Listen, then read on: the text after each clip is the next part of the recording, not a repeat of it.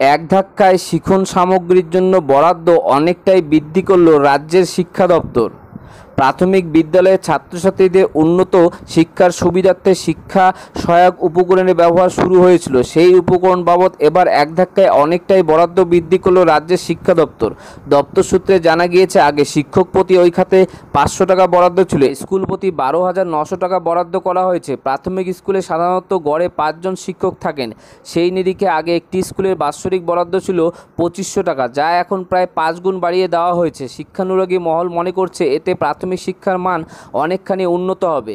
শিক্ষা প্রশাসন সূত্রে জানা গিয়েছে, এবারে বরাদ্দ শিক্ষার্থীদের শ্রেণি অনুসারে ভাগ করে দেওয়া হয়েছে। আগে পাঁচশো টাকাতে সারা বছর ধরে একজন শিক্ষককে প্রাক প্রাথমিক থেকে চতুর্থ শ্রেণির শিক্ষার্থীদের জন্য শিখন সহায়ক উপকরণ কিনতে হতো। এবার প্রাক প্রাথমিক শিক্ষার্থীর জন্য তিন হাজার নশো টাকা এবং প্রথম শ্রেণি থেকে চতুর্থ শ্রেণির শিক্ষার্থীদের জন্য ন হাজার টাকা বরাদ্দ করা হয়েছে। অর্থাৎ মোট বারো হাজার নশো টাকা সরকার বরাদ্দ করেছে। একাধিক স্কুল কর্তৃপক্ষের দাবি, এতদিন শিখন সহায়ক সামগ্রী বাবদ সামান্য টাকা পাওয়া যেত। সেই টাকার গ্লোব ম্যাপ বল সহ শিখন সরঞ্জাম কেনা হতো। বরাদ্দ অনেকখানি বাড়িয়ে দেওয়ায় প্রচুর শিখন সামগ্রী কেনা সম্ভব হচ্ছে।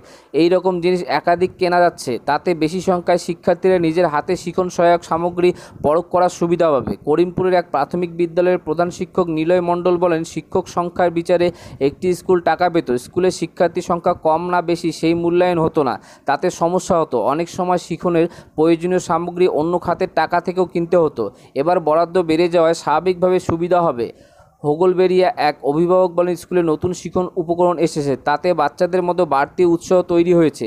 স্কুলে যাওয়ার ইচ্ছা বেড়েছে। করিমপুর চক্রের অবর বিদ্যালয় পরিদর্শক সোমদেব মজুমদার বলেন, আমাদের চক্রের পঁচাশিটি স্কুলে টাকা দেওয়া হয়েছে। করিমপুর নতুন চক্রের অবর বিদ্যালয় পরিদর্শক প্রাথমিক শামস আফরোজা বলেন, আমাদের চক্রের একান্নটি প্রাইমারি স্কুলে বাড়তি বরাদ্দ দেওয়া হয়েছে। ছোট ছোট ছাত্রীদের বিভিন্ন প্রয়োজনীয় জিনিস সম্পর্কে প্রাথমিক ধারণা তৈরি করতে শিখন উপকরণগুলির ভূমিকা বিজ্ঞানসম্মত এবং কার্যকরী সেই খাতে বরাদ্দ বাড়ানোর জেরে শিক্ষার মানের উন্নতি হবে এতে কোনো সন্দেহ নেই।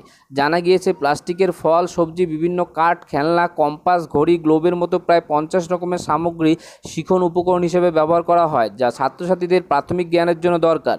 এতদিন সরকারি বরাদ্দে তার সব কিছু কেনা যেত না, এবার সেই সুবিধা দূর হয়েছে।